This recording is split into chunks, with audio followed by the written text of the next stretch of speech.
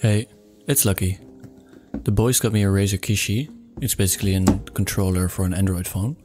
And I thought I'd build some prototypes with it, with Godot.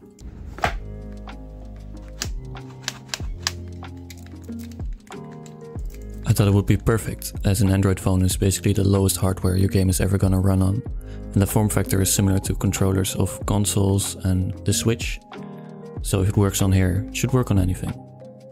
The first thing I built was this input demo, just to see if all the buttons are working. I wanted to make it a little more fun than just uh, text on screen though, so I made these 3D effects and the buttons going down. I think it looks quite neat. So I'll quickly build it to Android, just to see if it's working on the phone.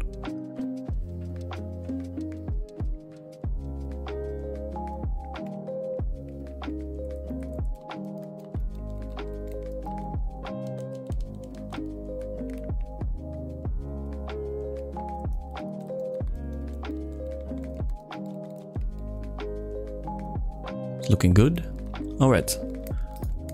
I'm gonna be building three prototypes for this device. The first one is gonna be a spaceship simulator. So first I'll need some space.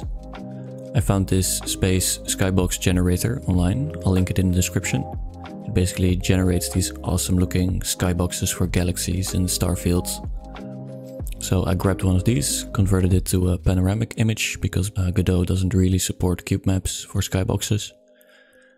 And the next thing I was gonna need is a ship. I found this awesome ship, but the vertice count was quite high.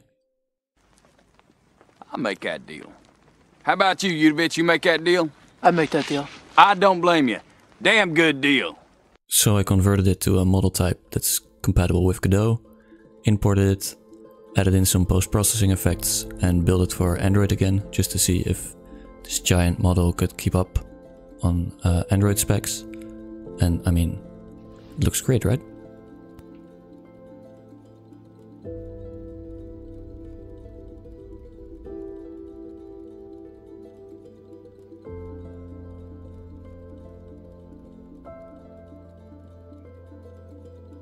For this demo I wanted to make use of the analog triggers on the Kishi. Basically the throttle is controlled with the right analog trigger and the left analog trigger controls the rotation speed of the ship for better maneuverability. Uh, I made it so when you pull the, the throttle all the way down it loads up this warp and then after a second it just shoots out the plane with this nice effect. Uh, I added in some thruster effects, which you can see me doing now and some sound. And I think that's our first prototype finished.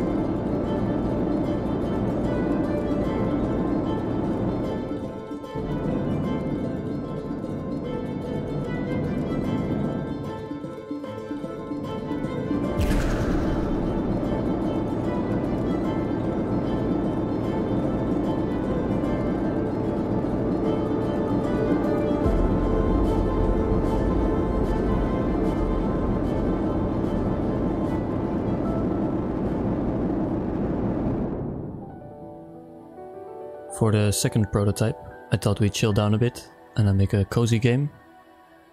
I thought of this beach seashell collecting game, uh, but the process was anything but chill.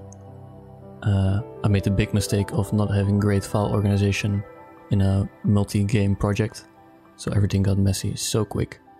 And I thought I could add this water shader at the end of the project, but I just couldn't get it to work.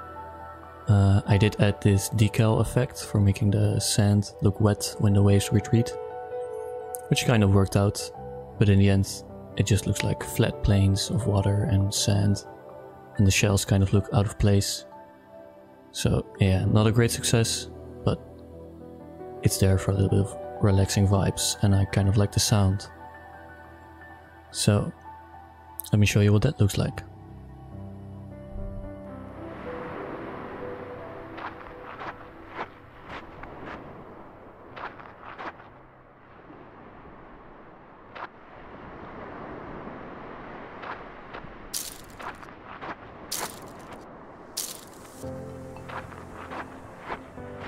Now I knew I had to make a strong comeback after this last game, because come on.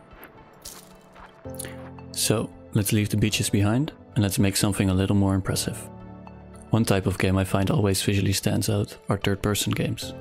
So that's where I started. I made my little demo stage, added in my third person character, set up the camera rig, a walking animation and a running animation,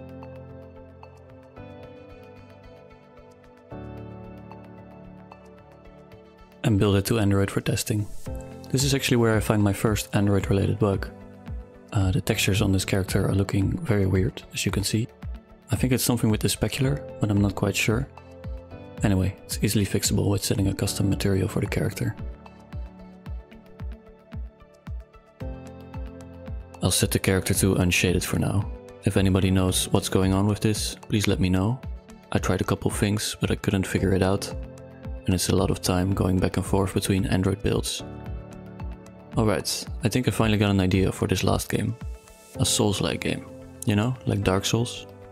So I downloaded a rolling animation, a kicking animation, then I built some basic logic for disabling control of the character when in an animation, and again build it to Android to test it,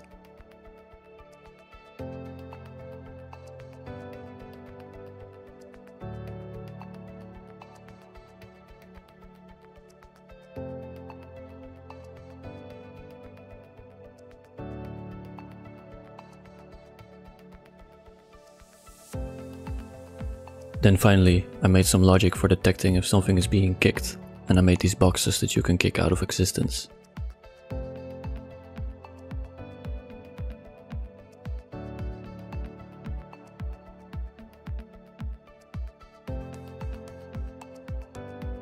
I really like this prototype. The controller feels so smooth and the locked animations really make you commit to your moves. I think I want to make a bigger project with a Souls-like controller. I'll definitely keep this one in mind. So one last time I'll build it to Android and this is our final product. Uh, I really regret doing this project in one project file, meaning all the games are just one Godot project. It really uh, messes with organization and overlapping file names and stuff, so I wouldn't recommend doing that. What I definitely would recommend is trying development for mobile. The new renderer in 4.0 for mobile is so powerful.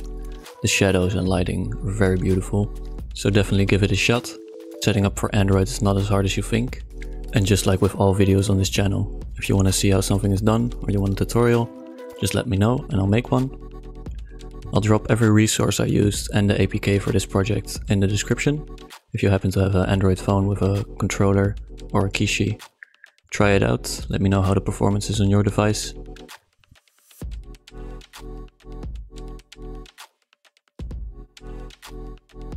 So that will do it for this video. I really hope you enjoyed.